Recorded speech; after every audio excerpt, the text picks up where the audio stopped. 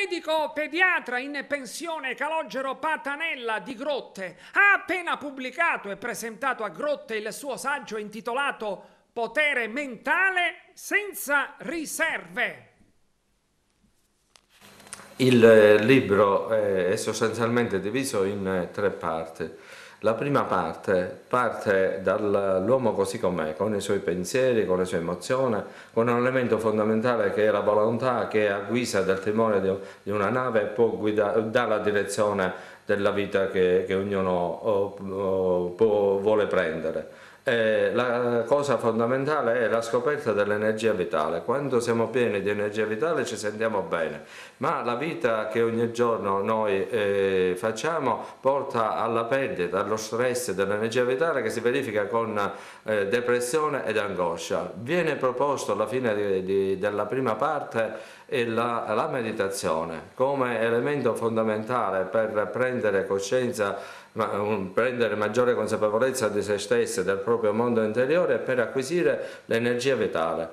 Facendo la meditazione, che viene proposta con una tecnica semplice, e allora l'individuo può scoprire che dentro se stesso ci sono altre eh, realtà, compreso anche la realtà spirituale di cui si parla molto bene nella seconda parte. E nella seconda parte si parla della costituzione dell'individuo con le emozioni, gli istinti, ma anche si parla di religione, di fisica, di metafisica, si parla anche di una visione di Dio alla luce delle nuove scoperte scientifiche di fisica eh, e comunque le caratteristiche fondamentali che Dio è luce, che Dio è eterno, che Dio si comporta come una persona che ci vuole bene. Nella terza parte, che è una parte più di approfondimento, è una parte che eh, porta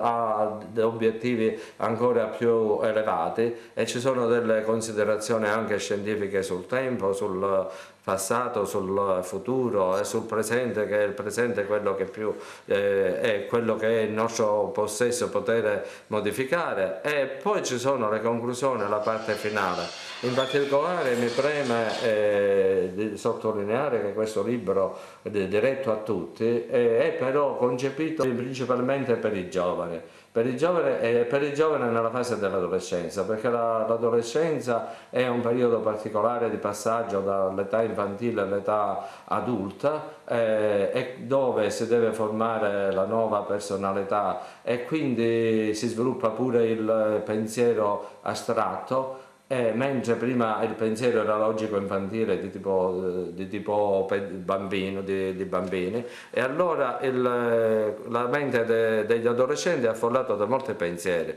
Oggi il, la scuola, la famiglia, e anche forse la Chiesa non sono più dei punti di riferimento per l'adolescente, quindi gli adolescenti si trovano eh, nella loro solitudine ad affrontare questa fase particolare per cui eh, è facile che cadano in preda, eh, abbiano degli influssi negativi e quindi eh, se non si sviluppa una personalità forte eh, l'adolescente va incontro ad atteggiamenti devianti.